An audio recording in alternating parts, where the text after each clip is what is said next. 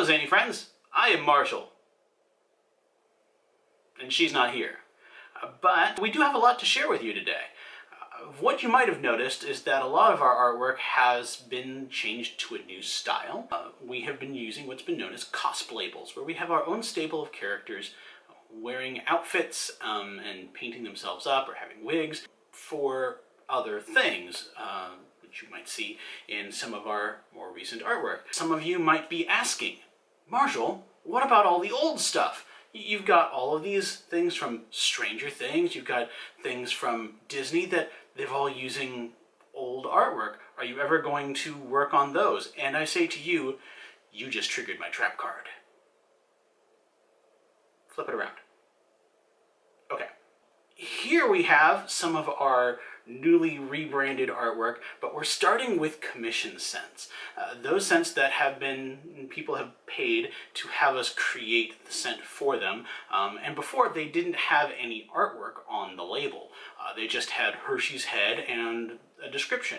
So now we're going to go ahead and give them some art uh, to keep them up with appearances.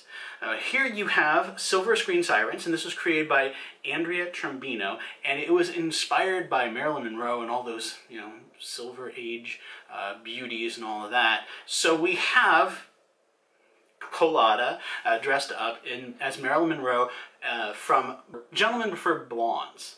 There you go.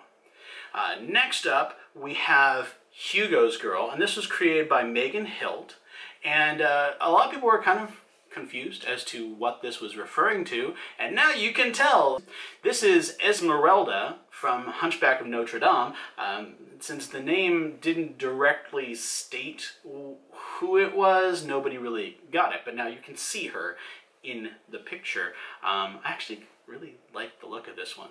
And here we have Death by Stereo. Um, this one is based off of Lost Boys. I've never actually seen Lost Boys, um, so I don't know any of the characters, but she had a very, um, Laura Budzinski had a very particular character in mind uh, when she created this scent. So we have Hershey dressed up as that guy. And uh, Laura, when you uh, see this video, go ahead and comment down below his name. Um, uh, the only name that I remember off the top of my head is David.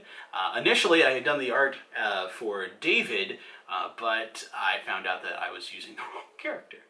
Oops. And this is for Two Windmills. Two Windmills is from Amelie, and we have Ravenna dressed up as Amelie. This was uh, submitted by Kara Murray, and uh, just so you can see, because Amelie is kind of a basic hometown girl kind of look. So just so you know who it is, we've got the spoon from the poster that we have for the movie.